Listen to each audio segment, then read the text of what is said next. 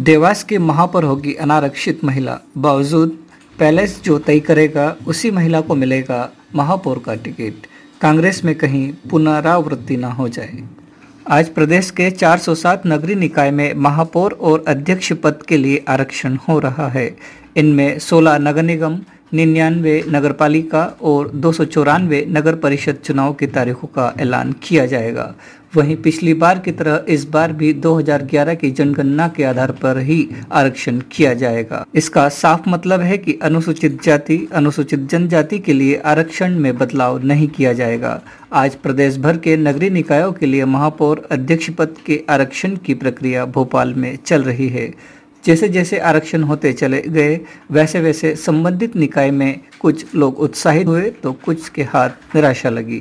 देवास नगर निगम में भी महापौर किस वर्ग से होगा यह तय हो चुका है। इस बार देवास नगर निगम में महिला महापौर होगी। चूँकि यह अनारक्षित है, इसलिए यह महिला महापौर सामान्य पिछड़ा वर्ग अनुसूचित जाति, अनुसूचित जनजाति आदि से हो सकती है। ऐसे में उन सभी नेताओं के अरमान धरे के धरे रह गए हैं, जो गाहे बगाहे महापौर बनने के सपने देख रहे थे। अब इन्हीं महापौर के दावेदारों को अपनी पत्नियों के नाम मजबूरी में आगे करना पड़ेंगे।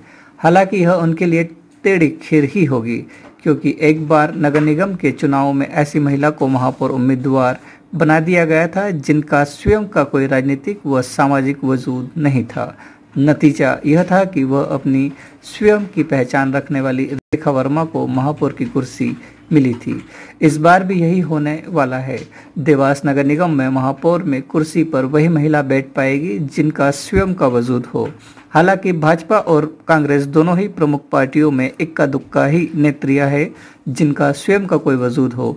हालाँकि कुछ ऐसे भी नेता है जिनकी पकड़ जनता के बीच है तो पैलेस के भी चहते रहे हैं।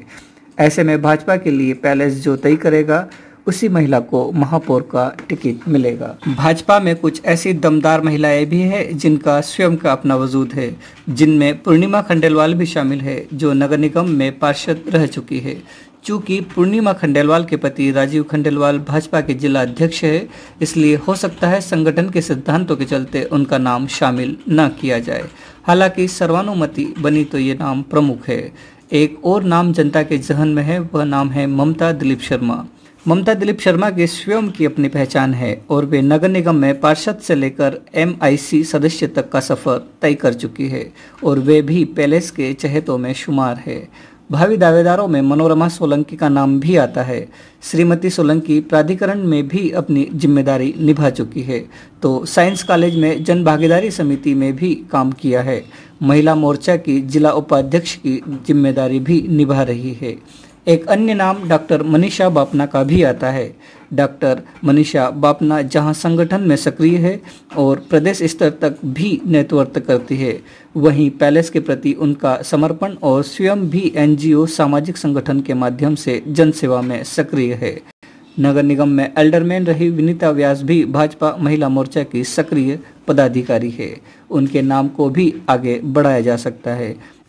यदि पैलेस और संगठन दोनों की सहमति बनी तो नगर निगम में वर्षों तक नेतृत्व करने वाले, अनुभव रखने वाले सुभाष शर्मा की पत्नी को भी महापौर की टिकट मिल सकती है।